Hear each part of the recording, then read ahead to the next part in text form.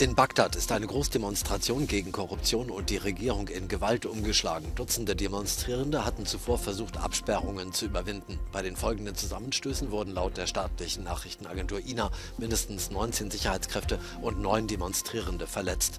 Die Protestierenden sollen unter anderem Steine und Molotow-Cocktails geworfen haben. Die Sicherheitskräfte setzten Tränengas ein.